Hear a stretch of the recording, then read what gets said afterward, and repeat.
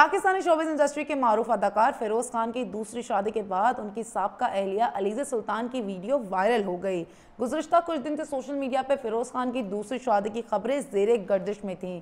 ताहम यकम जून को अदाकार ने अपने ऑफिशियल इंस्टाग्राम पर दुल्हनिया के साथ पिक्चर पोस्ट करके अपनी दूसरी शादी की तस्दीक कर दी। दूसरी शादी के बाद जहाँ फिरोज खान को शदीद तनकीद का सामना है, वहीं सोशल मीडिया सार्फिन अदाकार की सबका एलिया अलीज सुल्तान की हिमायत में भी सामने आ गए। अलीजा सुल्तान ने सबक शोहर की दूसरी शादी की तस्दीक के बाद अपने ऑफिशियल इंस्टाग्राम हैंडल पर अपनी मुख्तर वीडियोस पोस्ट की, जिसमें उन्हें अपने दोनों बच्चों के हमरा देखा जा सकता है। वीडियोस में अलीजा सुल्तान ने अपने बेटे और बेटी को गोद में बिठाया हुआ है और उनके साथ ज़िंदगी के कीमती लम्हात गुजार रहे हैं।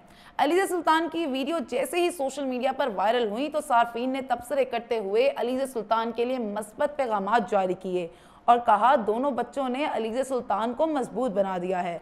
फिरोज खान की पहली शादी 2018 में अलीजे सुल्तान के साथ हुई थी। इस जोड़े के यहाँ 2019 में पहले बेटे सुल्तान, जबकि फरवरी 2022 में बेटी फातिमा की पैदाइश हुई थी। ताहम, दोनों बच्चों की पैदाइश के बाद इस जोड़े ने राहें जुदा करते हुए सितंबर 2022 में तलाक ले ली थी।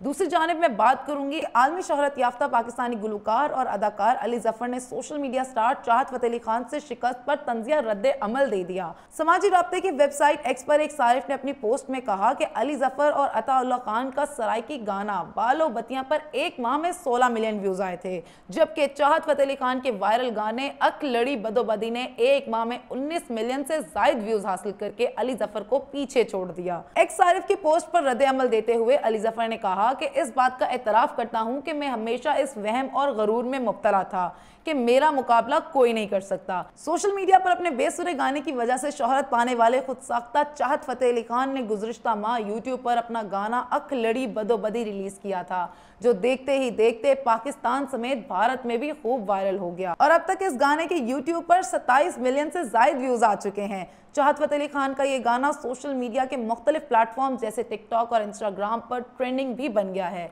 जबकि गाने पर मजाया मीम्स भी बनाई जा रही हैं, जो कि खूब वायरल हो रही हैं। चाहत फतेह अली खान से कबल मलका तरनम नूर जहाँ ने साल 1973 में रिलीज़ होने वाली फ़िल्म बनारसी डेक के लिए गाना गाया था। अकलड़ी बदोबदी, जिसको दोबारा रिक्रिएट किया है इन्होंने चाहत फतेह अली खान ने और अपनी बेसुरी आवाज़ में और लोगों ने इसको मजाया अंदाज में लिया और बहुत सारे व्यूज़ हासिल किए मज़ाक मज़ाक में ही चाहत फतेह अली खान ने।